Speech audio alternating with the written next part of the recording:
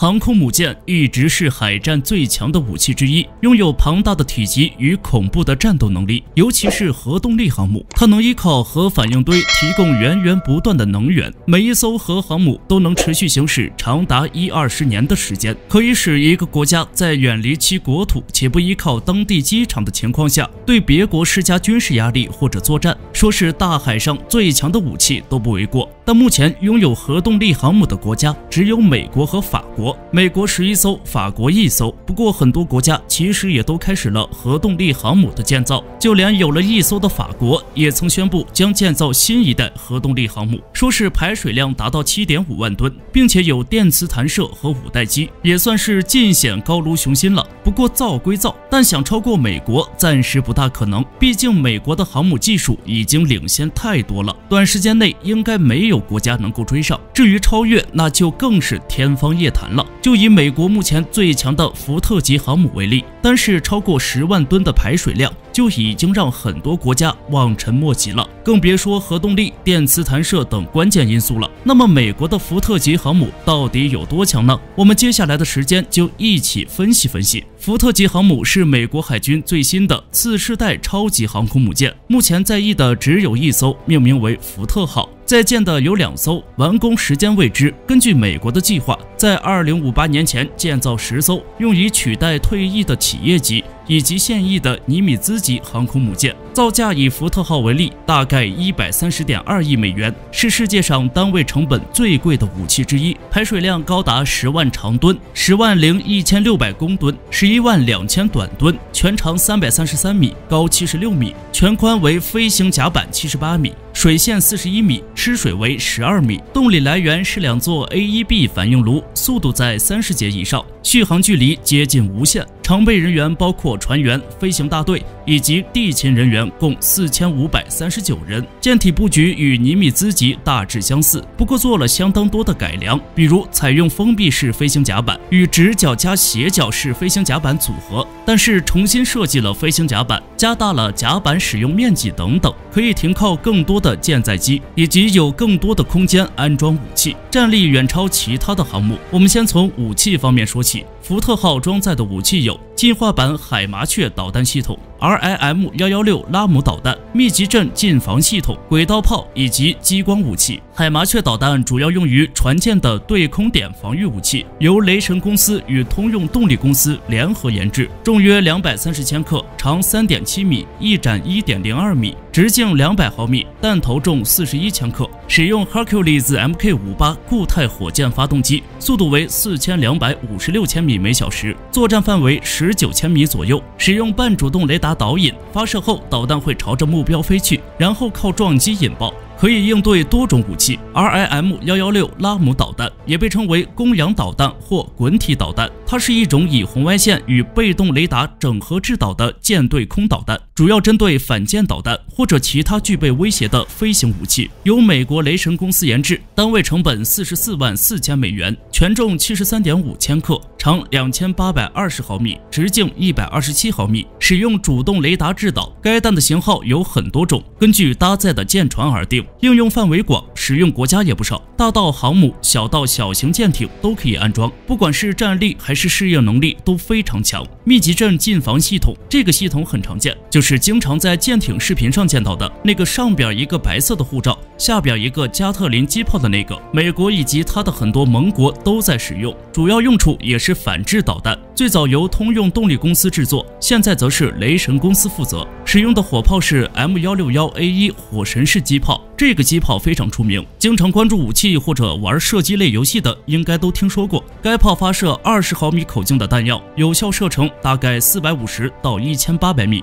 射速为三千发每分钟，强度非常高。不过，除了火神机炮外，近防系统还能装载其他的类似机炮，比火神强的也很多。这里只是拿火神举个例子，当机炮加装在近防系统上之后，炮口可以以每秒一百二十六度的速度水平移动，垂直移动则是每秒九十二度。大部分情况下，能在一点五秒内将炮口对准目标方位。反应可以说是非常迅速。当然，作为舰船最后防线的近防炮，要是反应不过来，船也就没了。所以，近防系统往往都是射速快、移速快以及反应快。然后是磁道炮，磁道炮也叫轨道炮。这种炮属于未来科技，它是以电流产生的洛伦兹力加速炮弹，令其沿平行的导轨移动。最早的轨道炮由法国人发明，时间是在上世纪二十年代，出现时间还是比较早的。只不过那时候因技术不行，有很多问题无法解决，直到上世纪八十年代左右，才算是正式开始了该炮的发展。而且随着科技水平的提升，它在未来武器中的地位也是越来越重要。像什么太空武器之类的，都是基于该炮才发展出来的。而且使用电磁发射技术的轨道炮，拥有远超普通武器的射速与威力，所以很多像航母之类的武器，也都逐渐开始使用该类武器。最后是激光武器，激光武器。跟轨道炮一样，也是未来科技，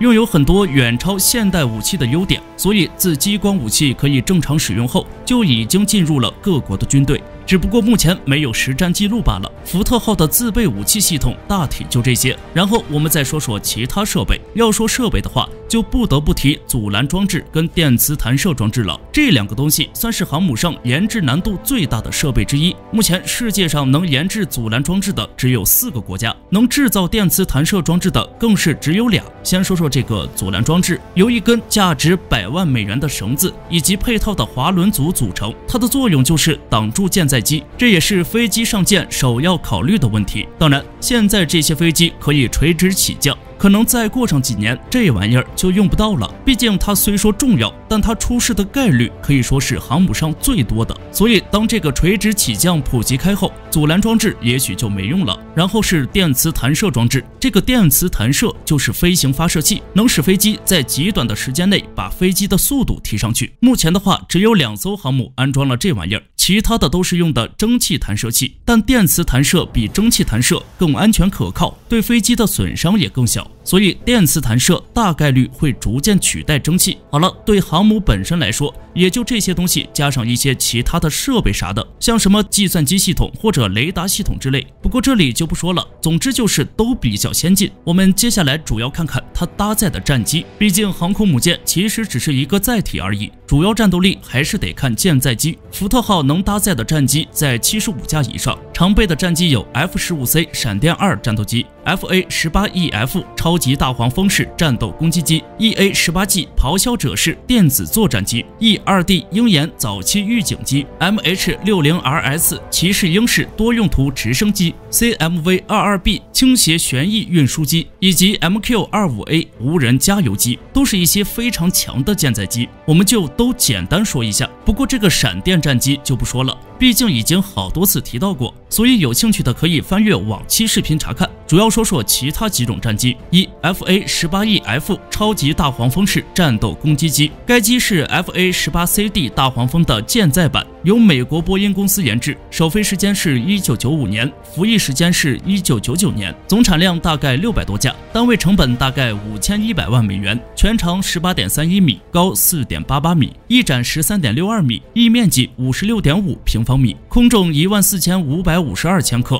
最大起飞重量两万九千九百三十八千克，使用通用电气 F 四幺四 GE 四百涡扇引擎，最大速度为一点六马赫，最大航程三千三百百三十千米，实用升限一万五千米，爬升率两百四十五米每秒。作战半径七百二十二千米，搭载武器有机炮、对空导弹、对地导弹、对舰导弹、反雷达导弹以及航空炸弹等。二 E A 十八 G 咆哮者式电子作战机，咆哮者是以前边的超级大黄蜂为基础研制的，同样由波音公司研制。二零零六年首飞，二零零九年服役，产量大概一百七十多架，全长十八点三米，高四点八八米，翼展十三点六二米，翼面积四十六点五平方米，空重一万。五千零十一公斤，最大起飞重量两万九千九百六十四公斤，使用奇翼 F 四幺四 GE 四百涡扇发动机，最大速度为一点八马赫，最大航程三千三百三十公里，实用升限一万五千米，作战半径七百二十二公里。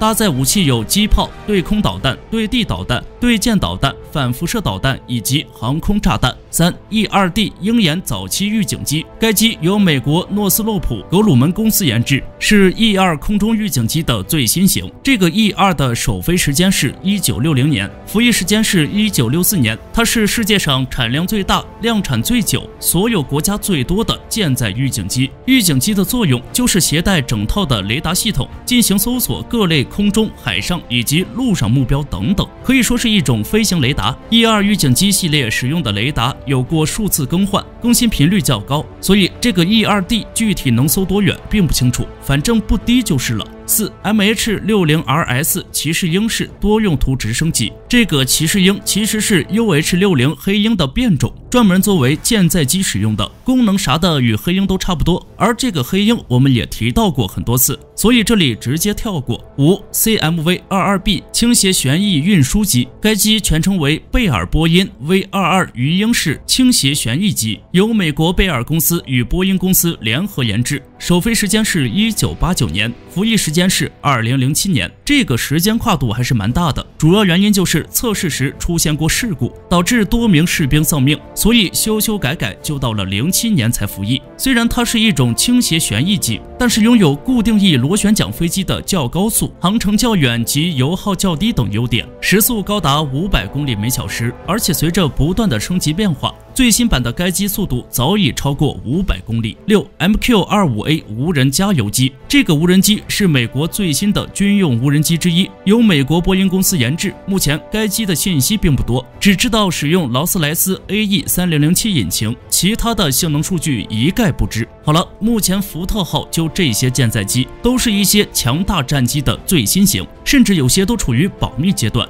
连性能数据都不清楚，可以说是神秘又强大。与其他的航母比的话，可以轻易做到碾压。不说这些神秘的新型舰载机，单是福特号本身的几种武器就能吊打大部分的航母。按照网上的专家分析，哪怕是尼米兹级航母面对它，都坚持不了几分钟。可以说，未来二三十年内都是福特级航母的时代。想要超越它，短时间内几乎不可能。但是它上边的武器设备，很多国家现在都还做不出来呢。所以福特。特级就是二十一世纪前期的航母霸主，至于后期的霸主是谁，这个就很难说了。是美国继续称霸，还是其他国家后来居上呢？对此大家怎么看呢？欢迎评论区留言讨论。感谢您的观看，我们下期不见不散。